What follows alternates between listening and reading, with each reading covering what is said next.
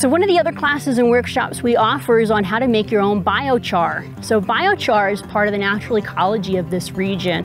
We used to have wildfires that would come through and deposit a layer of biochar on the soil that would eventually get worked into the soil during wildfire season in early spring in time for when the monsoons would come that would work it into the soil.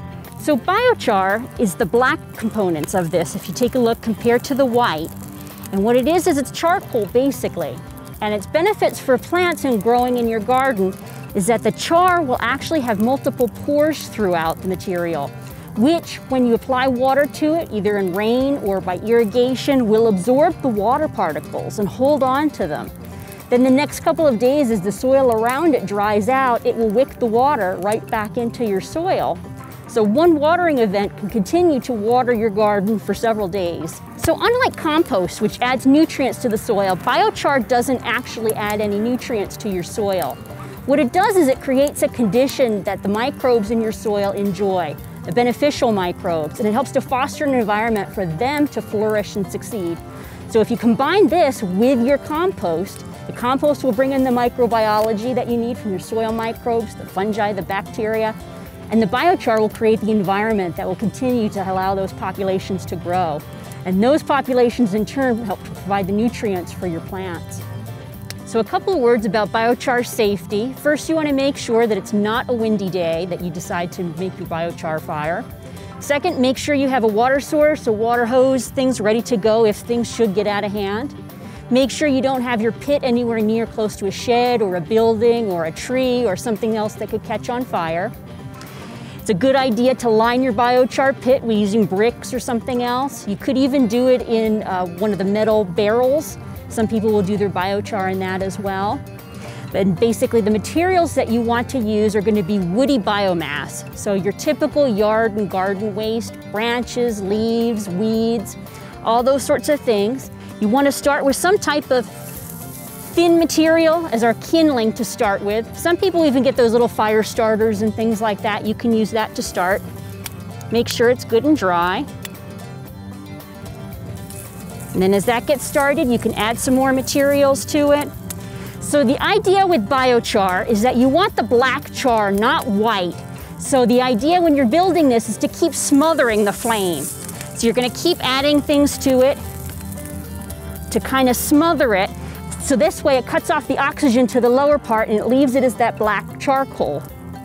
And you can see there's a lot of smoke. If there's wet materials, it will smoke much more than the dry materials, but you can still burn both for biochar, that doesn't matter.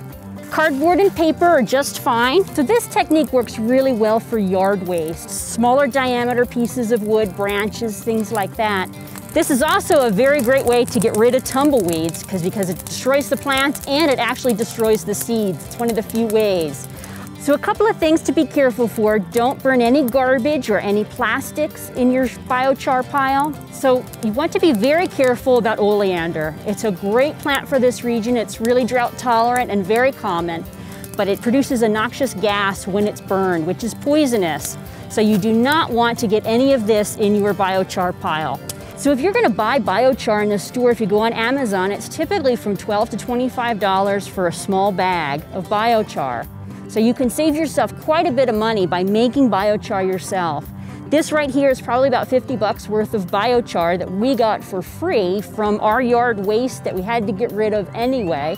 So when you're ready to end your biochar fire, what you want to do is soak it really well with water. Completely drench it so you're sure there are no more flames left it's all done.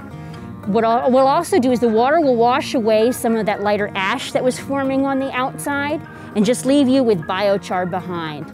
Now if you let this burn all the way down overnight, what it's going to do is turn all this biochar into ash. And that's not what we want. We want to keep biochar.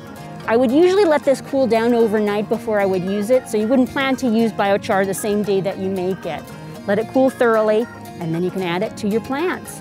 There's several methods for applying your biochar. The first is that you can sprinkle it right on the top of the soil, right above the roots on your plants if you have them out in the garden. The other method is to mix it with your potting soil and you can use it for potted plants. The recommended concentration for biochar is between 5 and 10% is the ideal. You'll get the maximum amount of benefits with that.